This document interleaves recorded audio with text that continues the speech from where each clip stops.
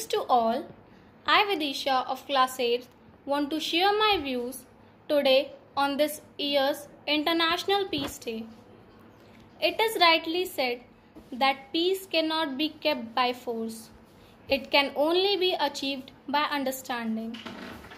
United Nations organization was established to make this world peaceful and terror free and to provide awareness about the peace UN decided to celebrate International Peace Day in 1982. Since then, International Peace Day, International Day of Peace, is celebrated every year on 21st of September. The purpose to celebrate this day is to create sense and awareness in the people about the importance of peace.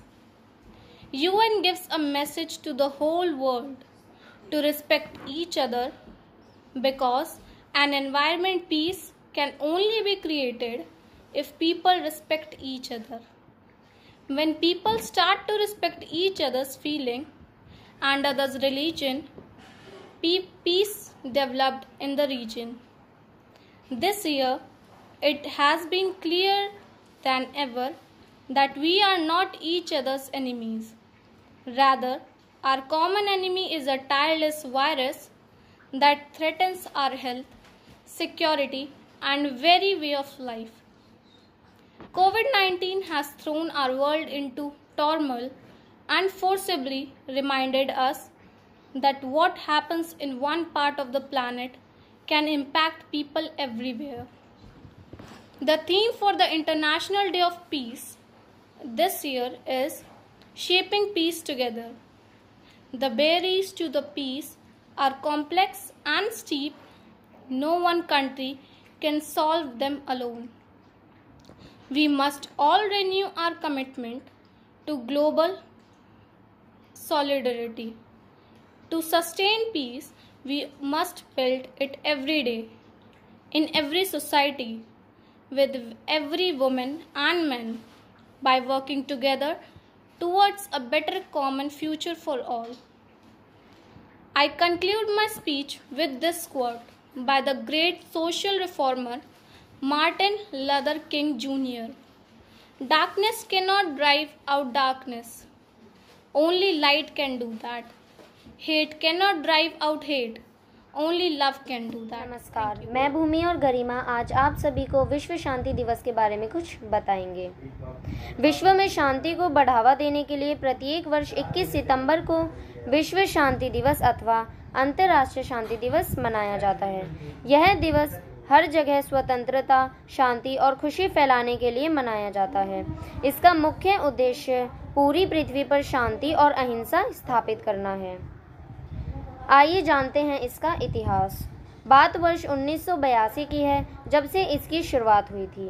तब से शुरू होकर 2001 तक सितंबर महीने का तीसरे मंगलवार को अंतर्राष्ट्रीय शांति दिवस मनाया जाता था। वर्ष 2002 से इसके लिए 21 सितंबर का दिन घोषित कर दिया गया।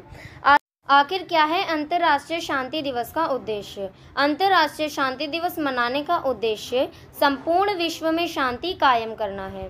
संयुक्त राष्ट्र चार्टर में भी इस बात का स्पष्ट उल्लेख है कि अंतर्राष्ट्रीय संघर्ष को रोकने और शांति की संस्कृति विकसित करने के लिए ही यूएन का जन्म हुआ है। संघर्ष, आतंक और अशांति के इस दौर में अमन की अहमियत का प्रचार प्रसार करना बेहद ज़रूरी प्रासंगिक हो गया है। संगठन, सिविल सोसाइटी और राष्ट्रीय सरकारें प्रतिवर्ष 21 सितंबर को अंतर्राष्ट्रीय शांति दिवस का आयोजन करती है।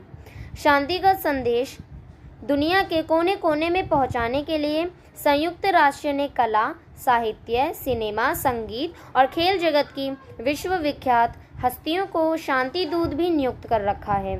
संयुक्त राष्ट्र महासभा ने तीन दशक पहले यह दिन सभी देशों और उनके निवासियों में शांतिपूर्ण विचारों को सुदृढ़ बनाने के लिए समर्पित किया था। भारत में विश्व शांति। पंडित जवाहरलाल नेहरू ने विश्व में शांति और अमन स्थापित करने के लिए पाँच मूल मंत्र दिए थे। इन्हें पंचशील के सिद्धांत भी कहा जाता है। ये पंच सूत्र जिसे पंचशील के सिद्धांत भी कहते हैं, मानव कल्याण तथा विश्व शांति के आदर्शों की स्थापना के लिए विभिन्न राजनीतिक, सामाजिक तथा आर्थिक व्यवस्था वाले देशों में पारस्परिक सहयोग के पाँच आधारभूत सिद्धांत हैं। इसके अंतर्गत निम्नलिखित पाँच सिद्धांत निहित हैं। एक दूसरे के प्रतिसिक अखंडता और प्रभुसत्ता का सम्मान करना, एक दूसरे के आंतरिक विषयों में हस्तक्षेप न करना, एक दूसरे के विरुद्ध आक्रामक कार्यवाही न करना समानता और परम्पर लाभ की नीति का पालन करना, शांतिपूर्ण से अस्तित्व की नीति में विश्वास रखना। ये माना जाता है, अगर विश्व उपरोक्त पाँच बिंदुओं पर अमल करें तो हर तरफ़ चैन और अमन का ही वास होगा। लेकर चले हम पैगाम भाईचारे का, ताकि व्यर्थ खून ना बहे किसी वतन के रखवाले का। मैं पुनः दोहराना चाहूँगी। लेकर चले हम पैगाम भाईचारे का, ताकि व्यर्थ खून ना बहे किसी वतन के रखवाले का, किसी वर्तन के रखवाले का। धन्यवाद। कली कोई ना मुरझाने पाए।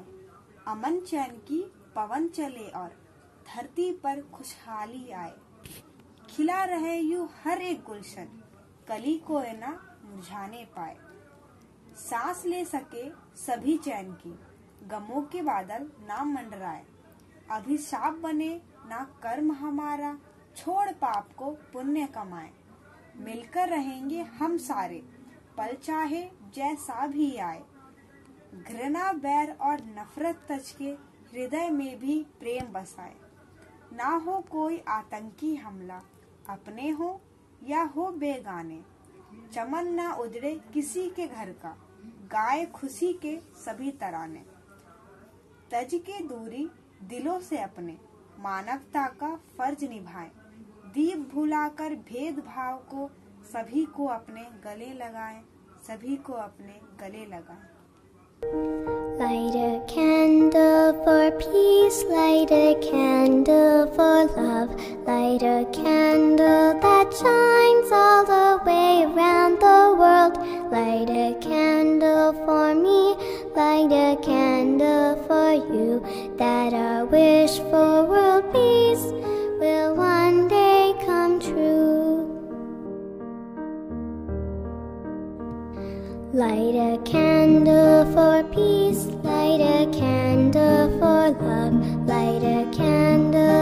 shines all the way around the world.